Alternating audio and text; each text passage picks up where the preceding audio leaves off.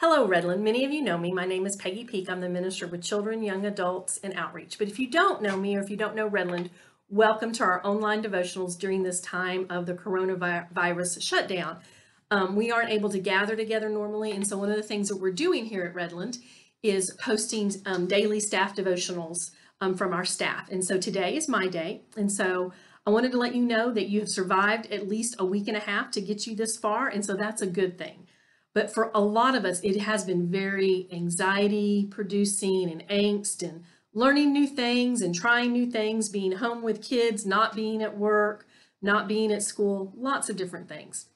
Um, and so last week, one of the new things that I did was we had our um, Thursday night young adult Bible study, but we did it with a Zoom conference call. And one of the things that I had asked the young adults to do was to share a verse that they were relying on um, during these very difficult days. And so many of them shared them. And then I shared one that I've had since I was in college Be joyful in hope, patient in affliction, and faithful in prayer from Romans 12 12. A friend of mine in college, one of um, the other young ladies who lived on my floor in the dorm my senior year, made that sign for me. So it has traveled with me to five or six different states. It pretty much is always kind of where I'm getting ready in the morning, where I'm putting on my makeup so I can be reminded to be joyful and in hope, patient in affliction, and faithful in prayer. So that's kind of my go-to verse. Um, today, while I was doing my devotion, I've been trying to catch up on um, my Beth Moore Bible study book. And so I'm doing the week that we were in Puerto Rico for our mission trip. And that really was just a test drive for what's happening now. Because we were in Puerto Rico with the mission team um, when some of the earthquakes were happening. And that was very scary. And so, in fact, today I'm even wearing my um, Puerto Rico t-shirt to remind me that God was faithful to see us home through that and see us safe through that. And he will see us safe through that, through this as well. And so the verse that I found this morning um, that I should have read seven or eight weeks ago, but I was on a mission trip and couldn't, was from Exodus 14, 14. And I think I'm going to commit this one to memory this week. And it says, the Lord will fight for you. You need only to be still. And so that's kind of like the new orders that we're getting where we need to stay at home and not be going out and not be as busy around other people, but to be busy in our own homes. And so that's going to be an encouragement to me because sometimes I do get lonely. And so I know that the Lord is going to fight for me and He just wants me to be still and to be safe for right now. Now, what we're going to do is I have asked young adults and some of my kids, um, some of the kids from Awana to recite some of their favorite verses and it's going to be grouped in three categories. One is going to be um, the category be joyful in hope. And then the next category will be and patient in affliction. And then the third category will be faithful in prayer. And I hope that you're encouraged by um, those selections. And God bless. And then I'll be with you at the end and we'll pray together. Be joyful in hope. John 3.16 For God so loved the world that he has one and only Son, that whoever believes in him shall not perish, but have eternal life. Friends, don't be surprised when the fiery ordeal comes among you to test you, as if something unusual were happening to you. Instead, rejoice as you share in the sufferings of the Messiah, so that you may also rejoice with great joy at the revelation of his glory. 1 Peter 4, verses 12 and 13. Isaiah 12:2. See, God has come to save me. I will trust in him and not be afraid. The Lord God is my strength and my song. He has given me victory. Philippians 4 6 to 7.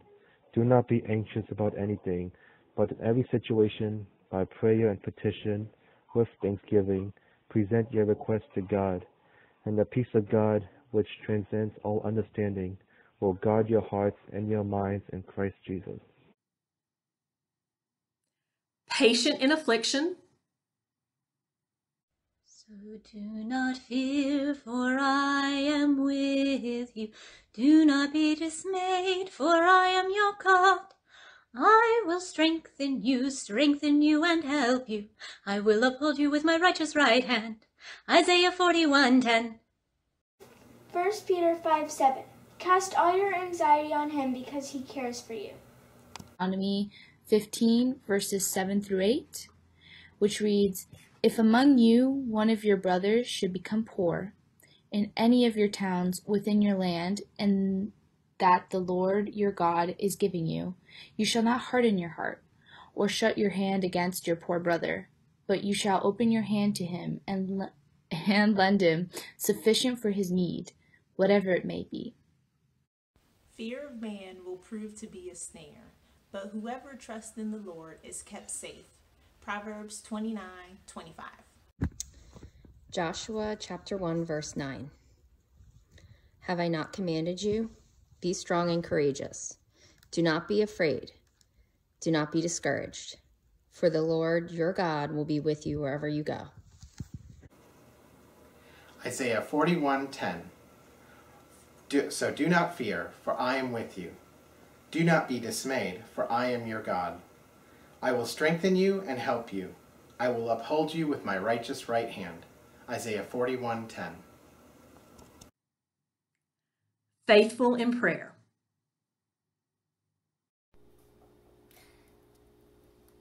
Great is your faithfulness. Lamentation 323.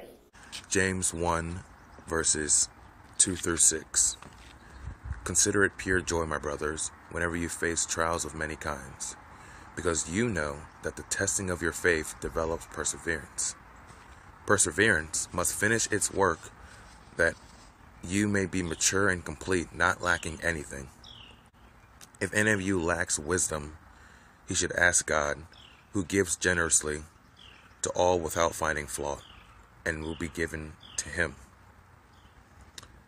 But when he asks, he must believe and not doubt, because he who doubts is like a wave of the sea, blown and tossed by the wind.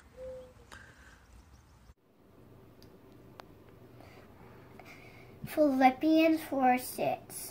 Do not be anxious about anything, but in an, every situation, by prayer and petition, be sent with thanksgiving, be sent your request to God.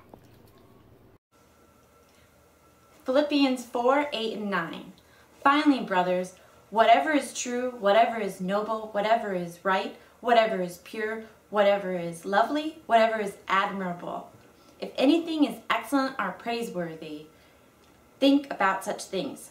Whatever you have learned or received or heard from me or seen in me, put it into practice, and the God of peace will be with you. Philippians 4 8 and 9. He is before all things. In him all things hold together. Colossians 1:17. Let's pray together. Lord God, indeed, Trey was right. He is before all things, and in him all things hold together. Hold us together every day, in the mornings, in the evenings, overnight. Keep us safe. Father, and help us to reach out to one another and to receive encouragement from one another or find encouragement in your word. Father, we know that you care very much for us and that you desire for us to be safe and that you have commanded us to be courageous and that you go before us and you hem us in behind us. And in all things, you do good to us. We thank you for that and we thank you for that promise. It's in Jesus' name that we pray. Amen. So glad that you were here with us today. Um, keep coming back. We check out things on our website. We're adding new things almost every day.